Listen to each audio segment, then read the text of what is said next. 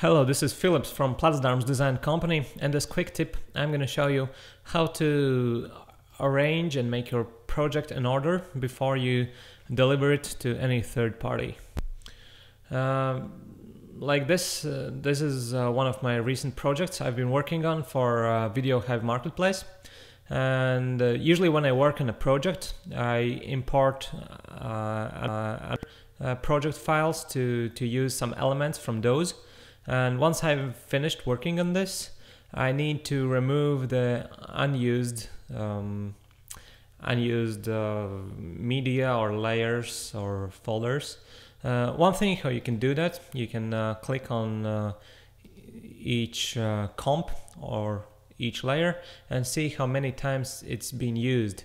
If this says one time, so it's used one time.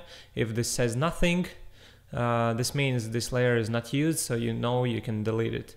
You can do like this and go through your project and uh, remove the unused uh, unused uh, media.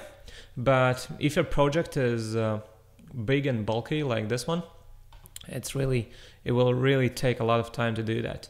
And there's an either easier way to do it.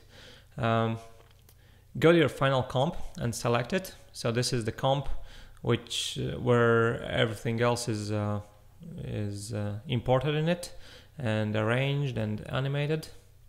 Like this is my final comp. So I click on it and then go to File, uh, File and Reduce Project. What this does, it removes every every single piece that is not used by this uh, by this composition. This time there are 70 items that are not used directly with this uh, in this composition, but that are imported in the project file. And of course, they're not needed anymore because I've uh, used the ones that I need to use. So just click OK, and you've uh, you've removed some of those unused uh, media. Still, you need to arrange your existing media. And usually what I do once I uh, reduce my project uh, so that there are only things that I'm actually using, I also uh, save it again. File, save as. And we'll call it tutorial and then what I do, I collect files because sometimes you import uh, you import assets from different locations, and uh, if you just pack your file like this and uh, you don't pay attention to your assets, the the other party that is trying to open up your project, uh, they will get uh, missing file errors and they will not be able to use your project. So another way to click on file and um, collect files. This will open up uh, collect files dialog and you just click on collect. Specify the new new location and you actually don't need even to create a new folder. You just uh, specify this name uh, collected files and click save. I will copy files copy all assets and move your project file to the new location and open up it from the new location. And once you open it up uh, in your Finder, I'll try to quickly show you.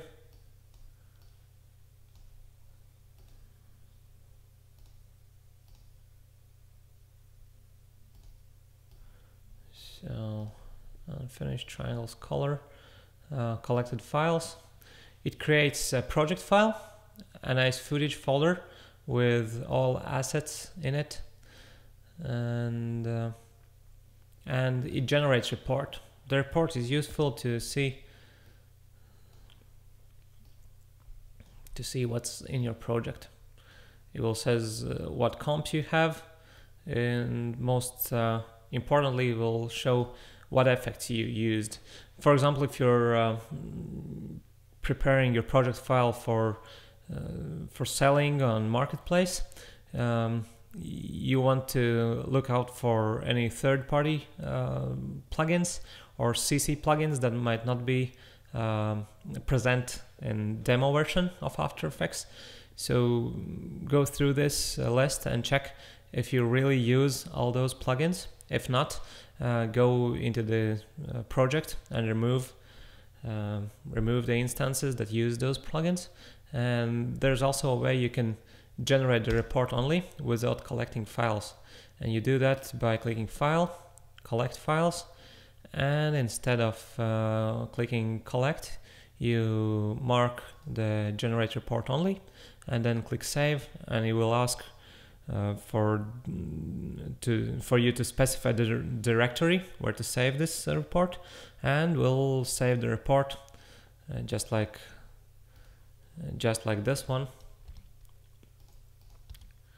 So you can so you can go through it and uh, and check your used effects.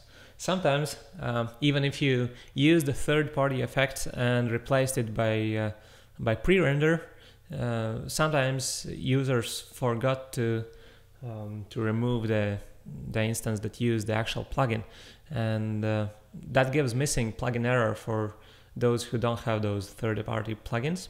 So for the user, again, you can't see the error because you have the plugin, but you can generate this report, and in the report you can see if uh, some of those third-party plugins are still used within your project. Then you can go into the project, remove those uh, instances, generate report again, see if you still have the plugin, then go through your project again and, and find the, the place that uses those plugins. Um, and another thing which I like to do instead of having footage folder and then uh, several subfolders, I like to move my assets uh, to the to the footage folder and remove those but when you do that, be careful because uh, your uh, the project file can can uh, miss the file link, miss the link with this file. So what you can do, open up your project file, uh, go and search for the Envato logo uh, asset, right click on it, and you can either uh, take reveal in Finder or reveal in um, Explorer, probably how it's called in Windows and that way you can see either it's uh, linking to the asset that you think or linking to some asset which is located somewhere else on your computer which works for you fine but that will give missing file error for uh, any other user that tries to open up this project on his computer. And uh, what you can do to make sure the asset is uh, this uh, the After Effects is linking to the uh, the correct asset just right click on it, uh, click on uh, replace footage by file and